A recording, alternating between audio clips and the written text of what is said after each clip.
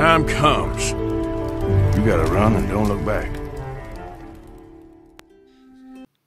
Yo, what is going on guys? This is Roger from OTR Gaming TV and in this video we are going to be discussing Red Dead Redemption 2 and if there is a possibility of you being able to drive a car in Red Dead Redemption 2.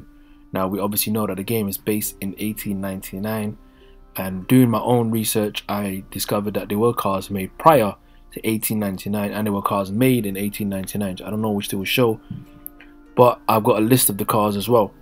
Now, the reason why I say that there is a big possibility for us to be able to maybe drive a vehicle is because in the first Red Dead Redemption, I'm going to show you the scene right now, guys, that there is a cutscene where in Blackwater, which is like the main downtown part of the, the game where the rich people live, there is an automobile there and they're driving it. You're actually able to see them drive it and your player is actually in the car for the mission. Now you're not physically driving it, there's AI driving it, but we know that it's Rockstar and there is a way that this could be included in the second game.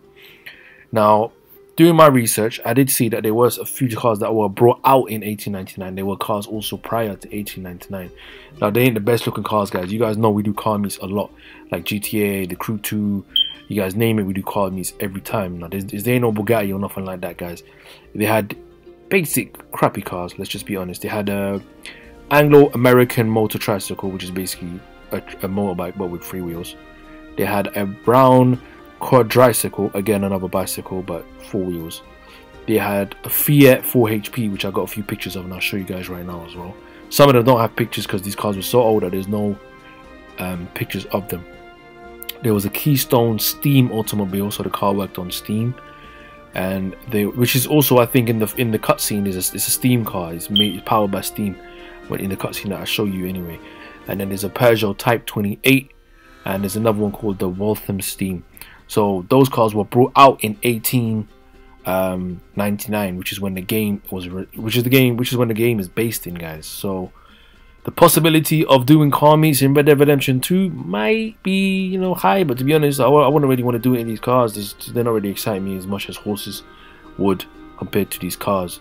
So, I'm just letting all my subscribers know that we will be getting Red Dead Redemption 2. All of us, most of my subscribers will be getting Red Dead Redemption 2. Um, if you guys want a cheaper version of it, I'm gonna put it in the link in the description. I'm gonna I'm gonna try and find it for future videos as well. If we can get cheaper discounts on the game make sure you look out for that in my Red Dead Redemption videos. Um, like, share, comment, subscribe, guys. We've got a ton more, ton more GT uh, Red Dead Redemption 2 videos coming out soon. Um, we got a bunch of information. Me, Omar Trex will be covering it. So yeah, will there be cars in Red Dead Redemption 2? The chances are 80% high because there are cars released in there. But we'll see.